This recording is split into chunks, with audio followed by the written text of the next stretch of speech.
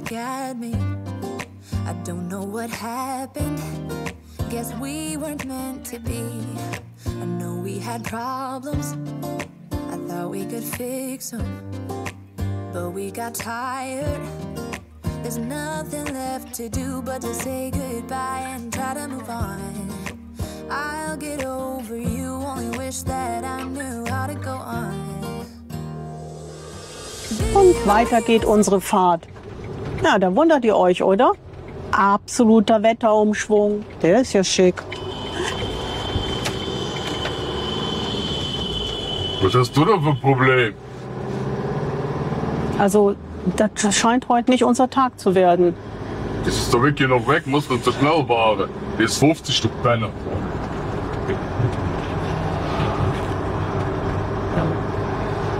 Der hängt dir fast im Kofferraum, ne? Scheiße, ja. Ja, der.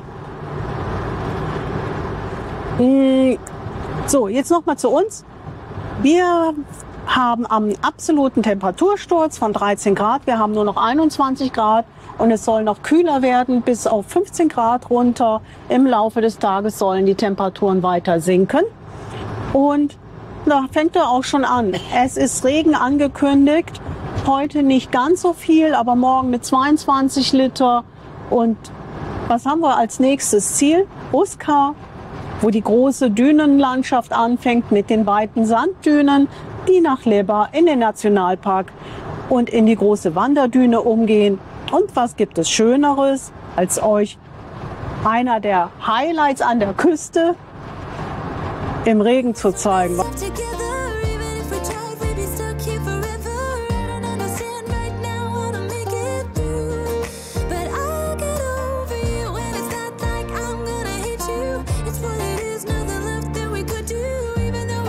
Aber auch im tiefsten Hinterland werden die Straßen hier neu gemacht und immer direkt auch mit Fahrradweg. Also das ist schon super vorbildlich. Abgesehen da, wo Bauarbeiten waren, war Fahrradfahren bis jetzt super. Bis auf hinten äh, das Weg vom, der Streifen vom Küstenweg. Uah. Okay, jetzt weiß ich, warum die die Straßen neu machen. Ähm, wo diese komischen alten Platten noch sind.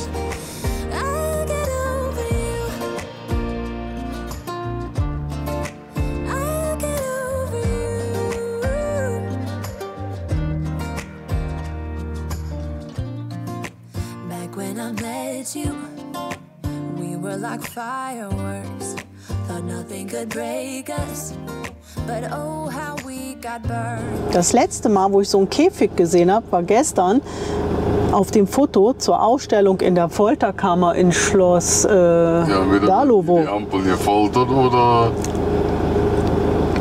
Jetzt können hier Leute Ampeln hier brauchen, ich weiß es nicht. Das haben wir noch nie gesehen. Die anderen waren ja alle noch Freigänger, aber die ist noch nicht mal auf Bewährung. Aber du hast grün. Und der Bagger schippert da hinten in unserem Fahrweg. Hier ist nichts abgesperrt. Die Baustellen, wie gesagt, die Straße wird ja hier komplett nach Oskar neu gemacht. Da ist nichts abgesperrt. Da musst du gucken, dass du auf der Spur bleibst. Manchmal ist sie also für uns gerade noch passend. Die sind teilweise recht schmal. Da geht es direkt dann runter. Da wird gearbeitet ohne, da, der Bagger schwenkt, der schippert. Und weiter geht die abenteuerliche Fahrt. Also ich, bin froh, dass wir nur so einen kleinen Weini haben. Also mit einem Dickschiff. Ich würde. Das ist ja, aber meine Nerven hätten ein Problem, weil hat mit jedem Auto ein Problem. ich dann noch mehr eher Angst hätte, dass es pa nicht passt. Und aber die Strecke ist äh, weiter, die nächste Ampel. Guck mal, das wäre ein Freigänger. Aber die arbeiten hier wirklich und wir fahren hier Schnell. und schnell und wir fahren hier so richtig typische polnische Örtchen, aber da vorne werde ich euch nicht filmen, weil das geht sonst hubbelidub. Die sieht schon sehr uneben aus, die Piste da vorne. Das ist der abgesperrte Teil ebener als das, was da kommt. Aber es gibt Gullis hier bitte. Mit Kanalisation bauen die.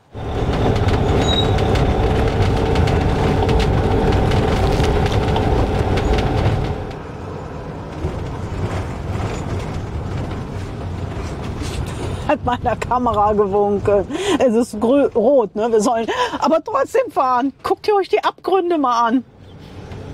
Der winkt uns bei Rot durch. Guck mal. Aber So ist doch nur ein Meter. guck mal, was da für Geschosse stehen. Das ist ein großer Bauernhof. Hat die für Mähdrescher und haben, aber das ist ja ein Riesending. Wow. Stelle die auf so eine Art Leihwirtschaft. So lohnend daneben. Ja. Es sind ja rundherum riesige Felder. Die müssen ja bewirtschaftet werden. Wie gesagt, und hier laufen eine 102-Jährige noch fünf Kilometer bis zum nächsten Bäcker. Da ist wieder eine im Käfig. Da haben wir sie wieder. Ich glaube, die wird noch von Hand geläutet, die Kirche. Kam gerade, als es aufhörte zu läuten, ein Mann raus. We're both getting out of line.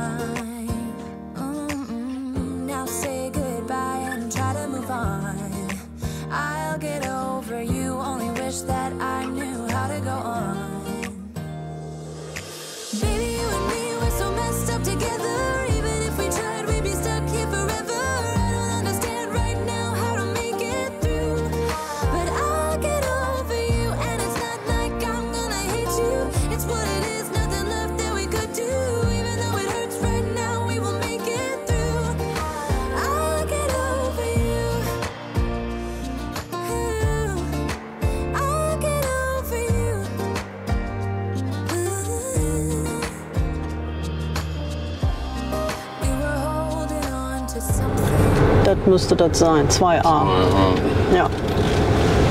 Wie willst du da reinkommen? Wir sind angekommen an einem idyllisch angelegten kleinen Campingplatz, aber die Stimmung ist im Bach runter.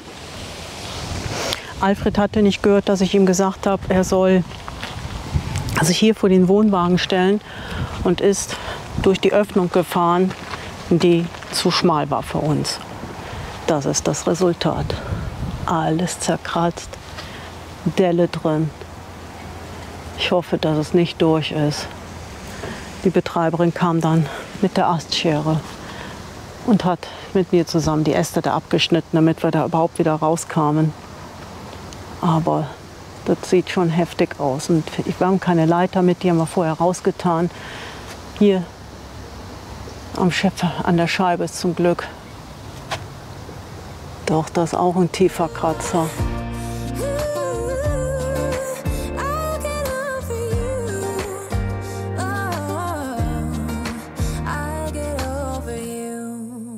Also durch ist es nicht. Das, was so dunkel und so schlimm aussah, also von hier sieht es schlimmer aus. Das sind Verfärbungen von dem Ast. Also es ist eingedellt, ja. Wir haben jetzt ein spezielles Muster.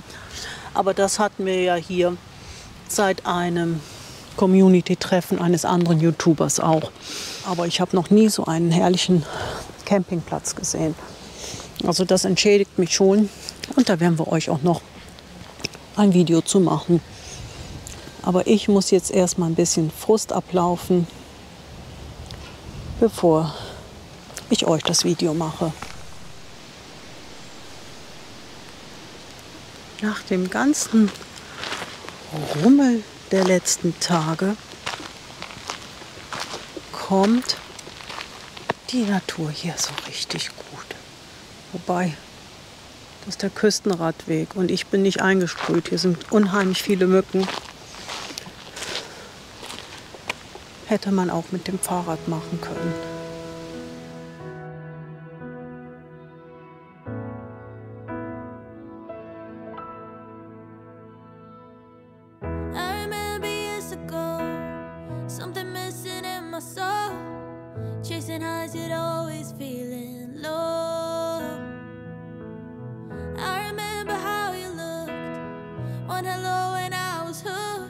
Feste Schuhe sind nicht verkehrt. Es wird sandig.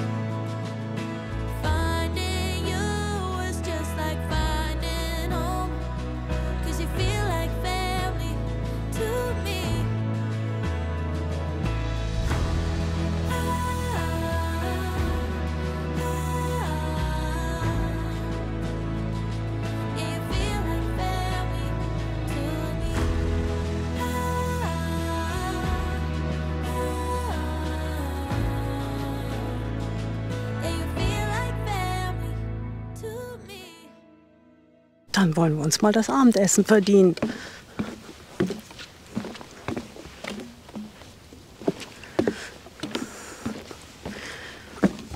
Es ist abgekühlt, aber irgendwie immer noch schwül.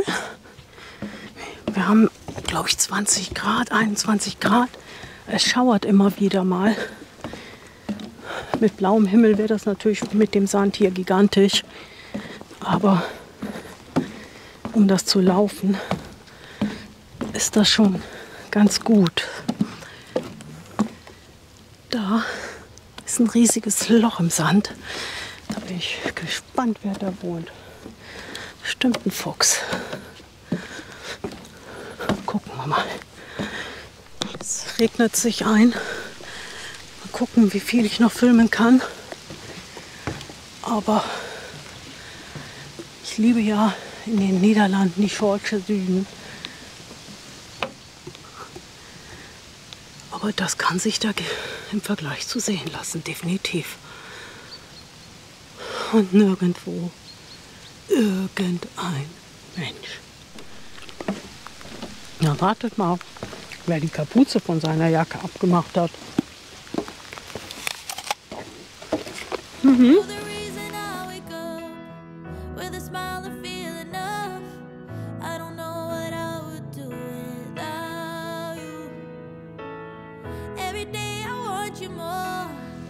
Der Weg ist schon hammerhart gemacht. Ups, das Brett war lose. Spätestens jetzt.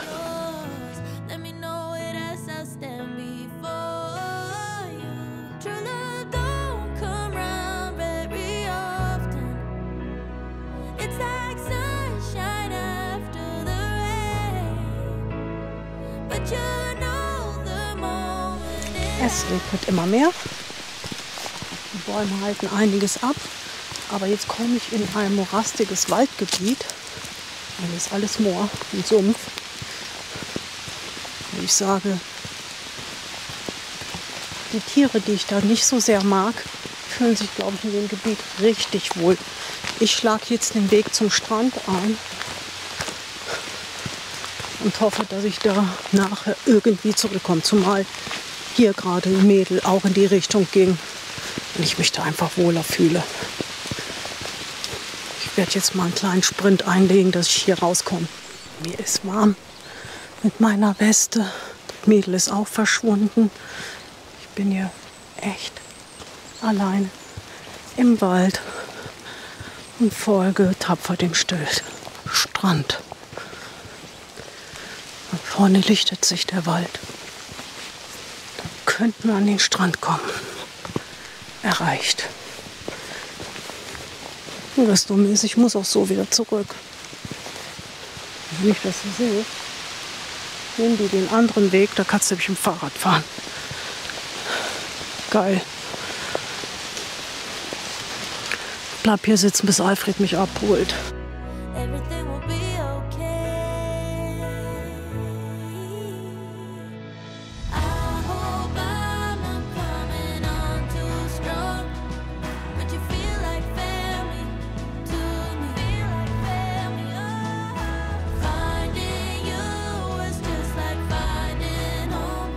So, ich habe mich entschieden, am Strand entlang zu gehen und nicht durch den dunklen Wald, weil, wie gesagt, meine Panik vor Wildschweinen ist größer als alles andere.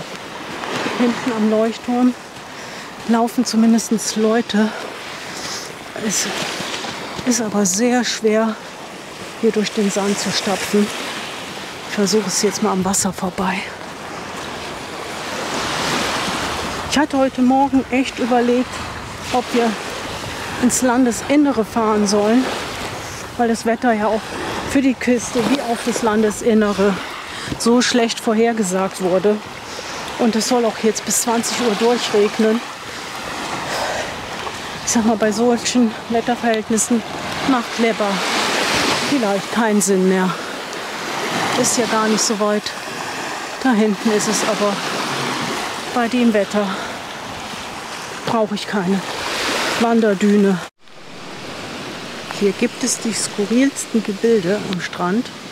Ich komme mir vor wie in einem Camp von Robinson Crusoe.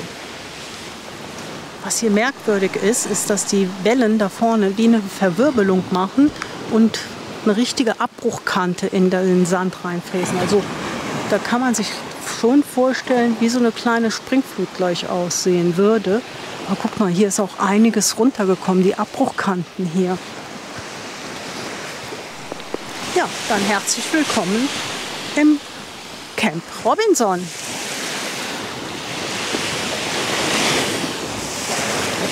unheimlich hier, wenn du alleine rumläufst.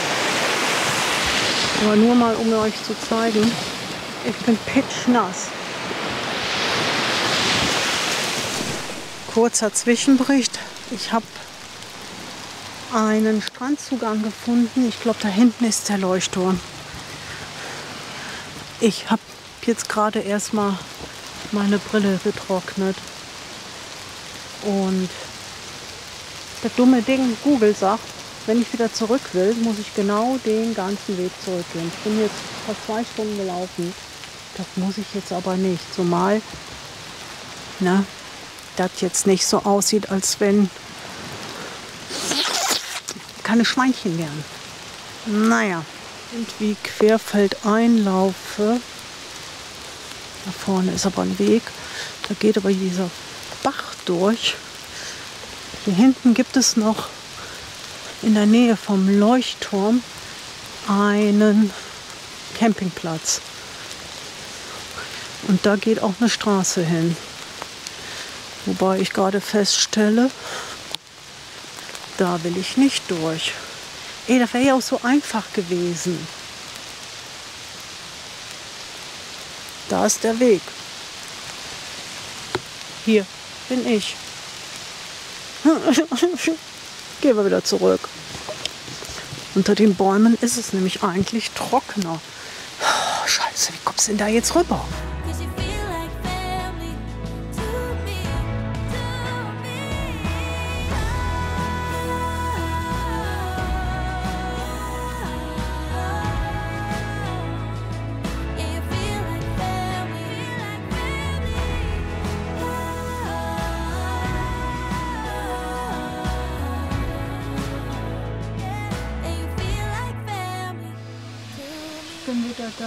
Ja, man sieht's. Das ist nicht mein Tag, ey. Man hätte bis zum Strandabgang mit dem Auto fahren können. Da war sogar ein Parkplatz, hätte man Wohnmobil fahren können. Andere standen im Fahrrad da. Ich habe eine Tour hinter mir, ich weiß nicht wie viele Kilometer. Kilometer weit durch den Wald. Ich und die Wildschweine. Mein war toll. Aber es war nicht das tollste Wetter dafür. Ich bin klitschnass. Ich bin klitschnass. Ja, man sieht's. Tu den, tu am besten Dreck in die Dusche alles. Ja, gib doch her. Hier siehst du mal den mit Weste, ohne Weste. Äh. Da ist noch mein Handy Du wolltest ein drin. Strickjäckchen anziehen, sei froh. Ich habe die Kapuze abgemacht gestern. Was machst du denn da schon wieder mit der Tüte? Wir haben unser tägliches Leckerli von Sweet Candy aus hm, Mistreu noch nicht gegessen. Wir haben noch Mohn, Vanille, Haselnuss, Kirsch, Cranberry und noch sowas. Was möchtest du? Das ist mir egal. Nee, Mohn will ich jetzt nicht. Das ist ein anderes nehmen. Da gucken wir besser diesmal rein. Das ist, Seht zu, der Bett in an der Verlosung teilnimmt, wo die die Lose ziehen. das ist. Milchreis. Jetzt gibt's Milchreis. Ah, Oder möchtest du doch lieber Kirsch? wenn du mich so fragst. Na, finde ich jetzt gerade nicht. Da muss ich die alle wieder umdrehen. Das Cranberry. Nee, Kirsch will ich aber jetzt nicht. Jetzt hier bitte Milchreis. So, So Morgen geht's so weiter. geht das hier. morgen geht's weiter. Und wir teilen uns eins. Wir sind- teilen uns das, was Betty möchte. Nicht das, was ich hier möchte. Nein. Doch, du willst gleich grillen. Da teilst du auch. Zwei Drittel du, ein Drittel ich. Und du hast mich noch nicht mal gefragt. Ich wollte Sauerkraut Du mit hast meiner heute Morgen polnischen. von Grillen gesprochen. Da habe ich gar nichts von gesagt. Ich habe gesagt, ich kann das Sauerkraut. Ich habe gesagt, ich kann die Wurst mit Grill machen. Ich habe mir aber versprochen, ich meinte mit Sauerkraut. Ex- Nee, da war gesagt, hast du gesagt mit, mit Gulasch. Äh, Hm, geile Hälfte. nächstens nehme ich das auf. das schmeckt nach Milchreis. Ja, das ist schon klar. Darum steht ja auch Milchreis drauf. Lecker. Ey, die sind gut. Die habe ich richtig teuer bezahlt. Und wisst ihr was? Die gibt es genauso lose beim Lidl. Für viel, viel Für weniger. Geld. Mhm.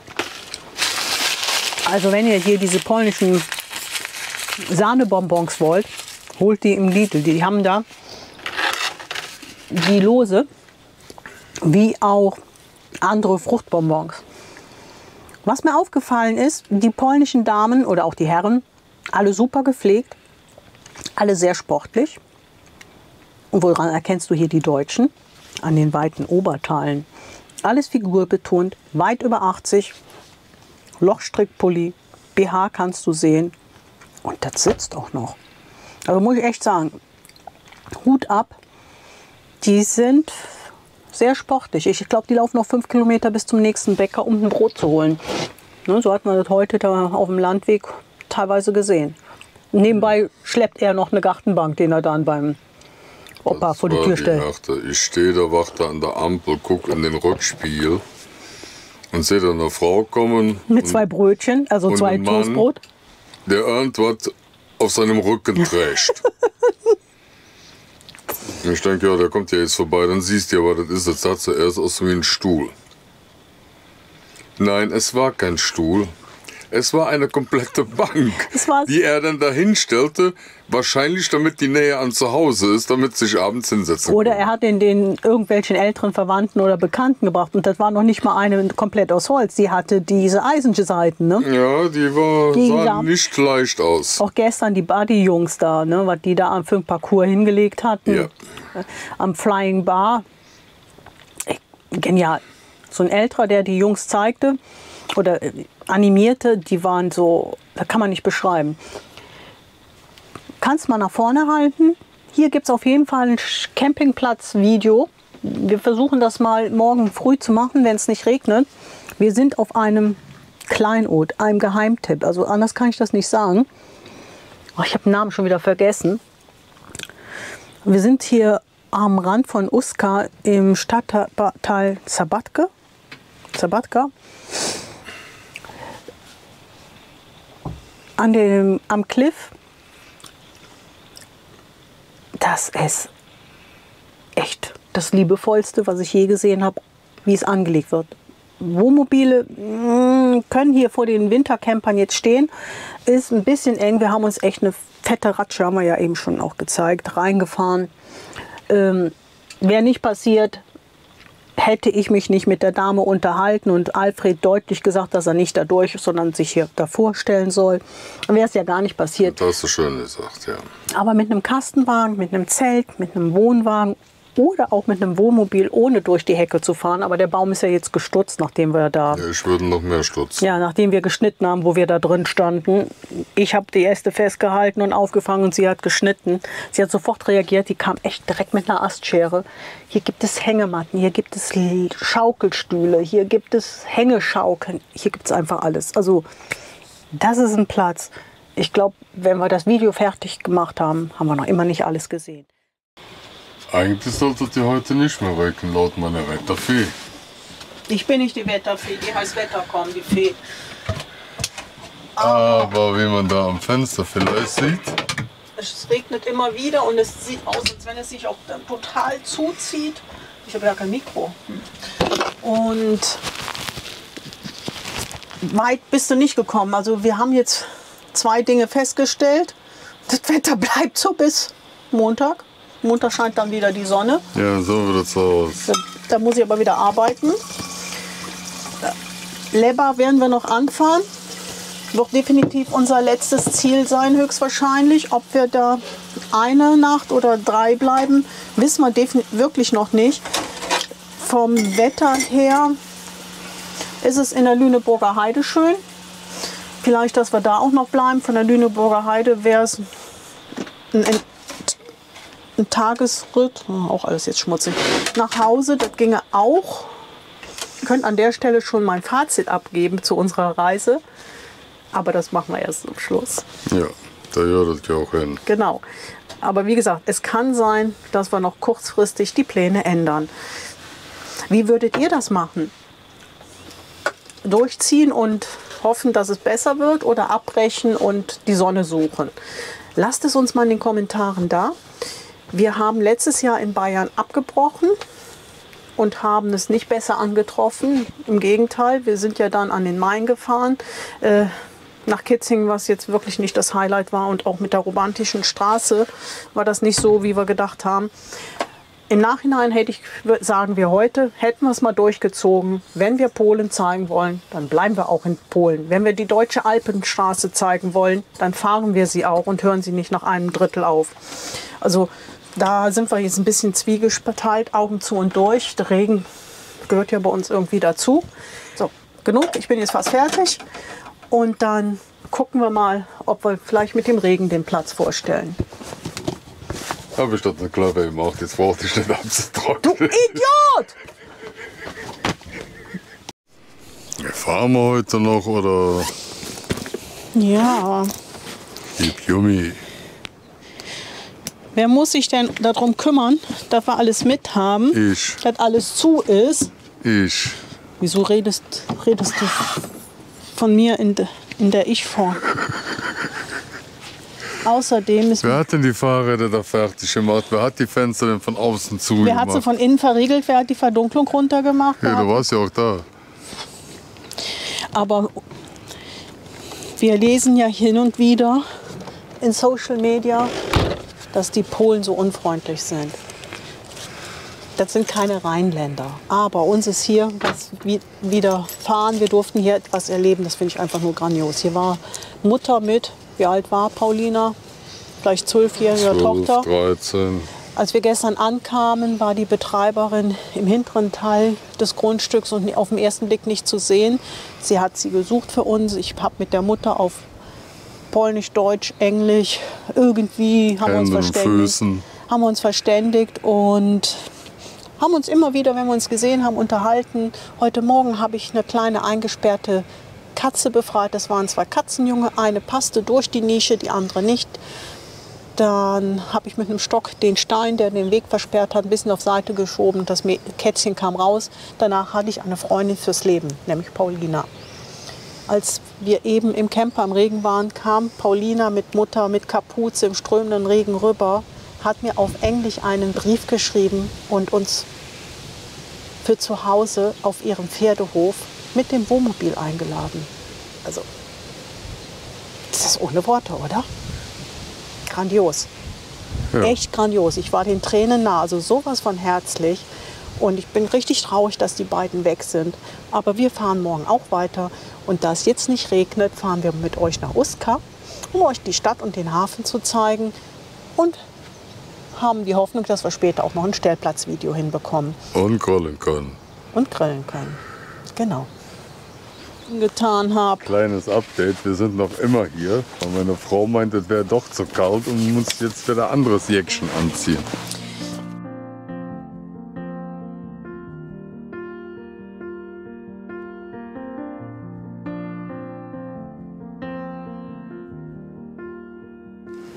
Wir liegen nämlich hier direkt an dem Küstenfahrradweg, den wir gerade von der Straße gefahren sind.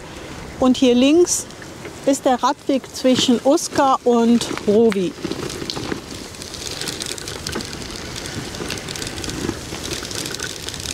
Aber auch Bestandteil des Küstenradwegs, wenn ihr den Offroad-Parcours fahren wollt.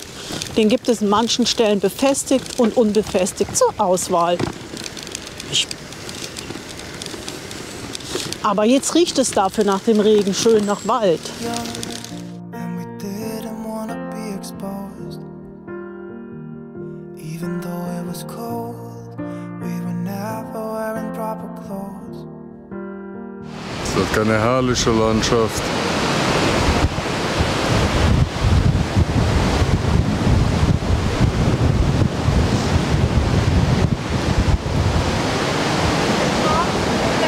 Das Was sagst du dazu? Was? Ich habe gesagt, das ist doch keine herrliche Landschaft. Doch, die ist einmalig. Ich kann ja auch sagen, wie schön einsam die ist, wenn du die da hinten so drei, vier Kilometer im Regen läufst. Ja, wenn im Regen läuft, ist immer einfach. Lass das Ding so, wie ich das haben will. Dann sehe ich aus wie ein Zwerg. So Du bist ein aus wie ein Zwerg. Geh Foto machen. Ja, geht doch.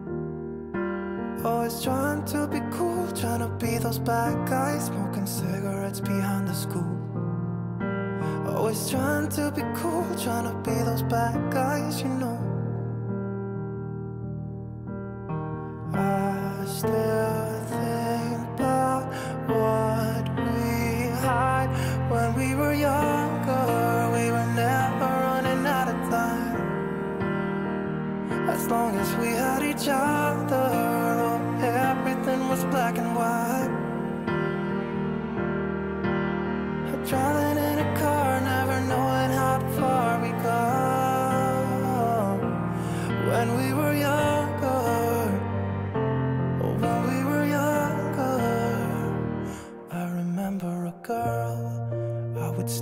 into her parents' house.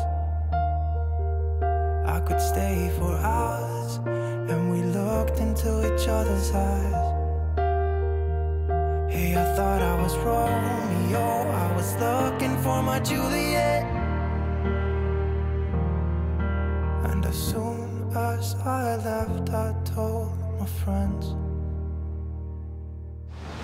Hier haben wir das erste Mal das, was ich gedacht habe, was du in ganz Polen an der Küste wiederfindest. Nämlich so diese alten, verspielten Häuschen. Und Dala, Dalowo hatte ja schon ein bisschen, aber das ist der erste, wo die jetzt sind. Ich denke mal, wir müssten weiter Richtung Danzig, aber da wird die Zeit zu kurz. Das wird Ja. ein andermal. Wie gesagt, Hast du gehört, Thomas, meine Frau braucht mehr Urlaub. ach, eigentlich bräuchte ich für immer frei. Dann würden meine Pläne auch aufgehen. Ja.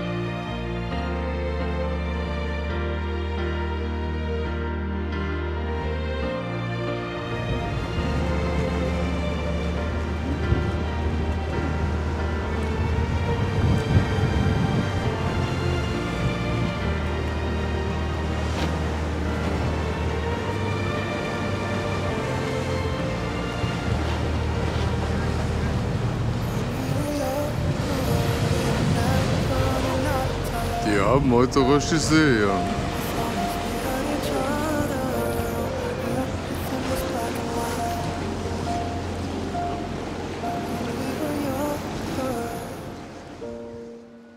Da sagst du, du wärst ein Zwerg. Guck mal, wie groß du bist. Ich wollte gerade ein Foto von der Meerjungfrau machen, aber da kommt jetzt die Mitstreiter aus YouTuber Polska. Das hält im Leben nicht das Stativ. Ah, er hilft. Ich hätte auch sonst gerade geholfen.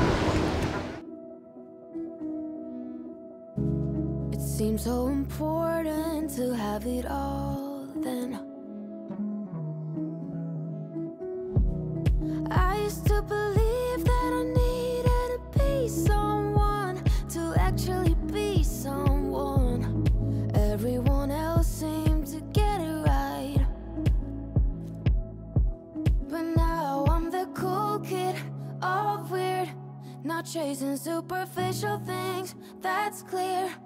Ooh, I've got cool friends, ditch trends. They always see through them. That's why I am rich.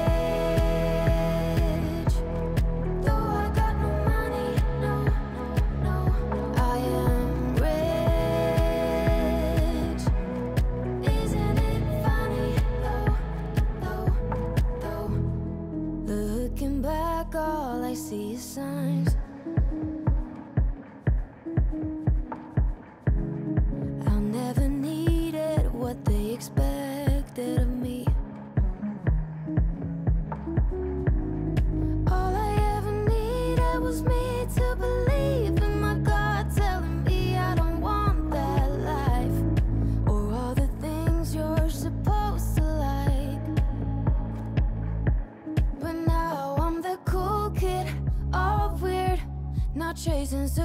Superficial things, that's clear. Ooh, I've got cool friends, ditch trends. They always see through them. That's why I am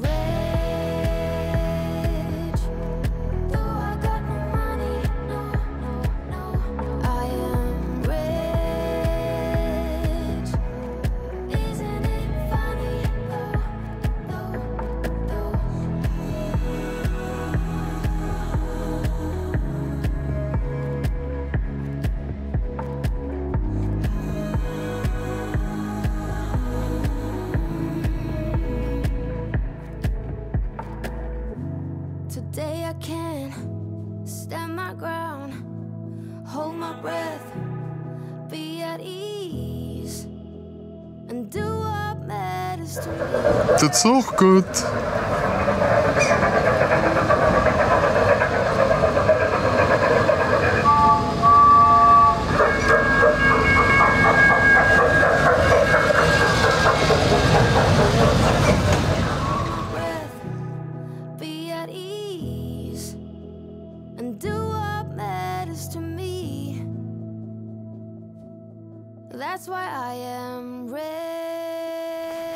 Der Tag heute war richtig gemütlich.